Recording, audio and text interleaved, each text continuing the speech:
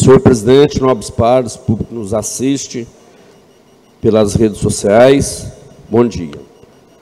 Eu, igual o Tide veio, veio aqui falou, toda sessão, desde 2021, a gente vem falando a respeito da saúde. Né? É, a CEAR que nós criamos, né, ela ainda está em andamento, precisa de apurar muita coisa, porque falaram aí que ia sair 10 leitos, 10 leitos não saiu, né, e continua o povo sofrendo lá no pronto-socorro, Alves Azuis e na Zupa, aguardando vaga. Né.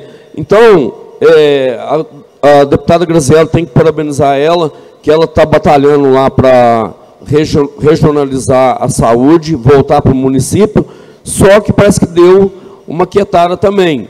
Então, quase toda semana ela estava colocando nas redes sociais, está aí a assessora do Guilherme Cortez, precisa de cutucar o governador para melhorar esse problema da área da saúde, ainda mais agora os deputados que nós temos, né, que está lá junto com o governador. Porque nós, vereador, inclusive eu fiz a moção de repúdio, foi liberado aí 35 mil cirurgias para a cidade de Franca, né? Só que não sai, não sai, liberou, mas não sai. Né? E o povo continua sofrendo né, na, a respeito da saúde. É, esse negócio de leito virou brincadeira, porque lá no Hospital do Coração, inclusive a CEAR, o Gilson, o pessoal que esteve lá, viu consultório, o médico é, fazendo consultório na onde pode ser leito. Né? Então, é uma coisa que precisa da administração da Santa Casa ver é, para não deixar acontecer isso que está acontecendo.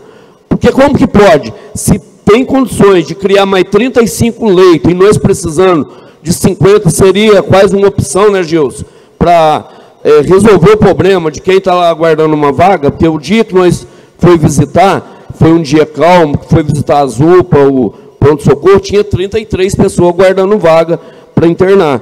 Então, precisa é, tomar providência urgente a respeito desses leitos que está precisando na cidade de Franca. É, o segundo assunto, eu quero agradecer o Ricardo, é, que é o presidente lá da Liga de Chacrobol. Nós estivemos lá no campo do Santa Terezinha, eles acabaram com o campo lá do Santa Terezinha, principalmente lá do Rapadão, né, derrubou os alambrados tudo, né, o campo, que é o, o campo gramado, o pessoal da Liga está fazendo uma reforma lá.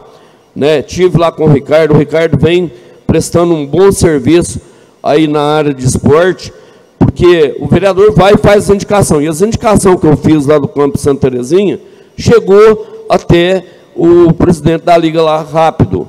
Né? Quer dizer, ele foi lá, está é, arrumando o campo lá, tem um local lá que as arquibancadas tinha caído, é, precisa de fazer um canaletão lá por cima para a água não descer no campo, para poder não destruir, porque não adianta, está lá reformando e daqui uns dias, é, com aquele tanto de água descendo lá, vai destruir tudo de novo. Né? As áreas de esporte, as áreas de lazer precisam de ser cuidado, porque senão não adianta. Vai lá e faz, né, igual o prefeito tá gastando, cada campo da, da CEPEL, cada área da CEPEL que está sendo feito, é gasto 400 mil reais para construir um.